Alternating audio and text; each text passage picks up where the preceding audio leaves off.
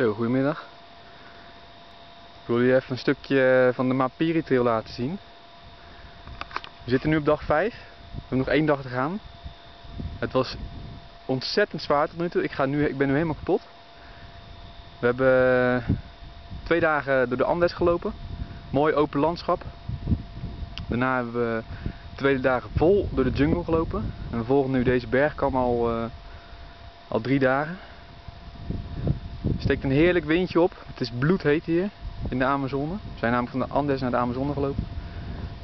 En we hebben uitzichten die echt maar weinig mensen op deze planeet uh, hebben gezien. Onderin, in het midden van het beeld, stroomt een heerlijk ijskoud bergriviertje waar we dus niet bij kunnen. We drinken dus uh, uit modderpoeltjes, dat, dat uh, filtreren we.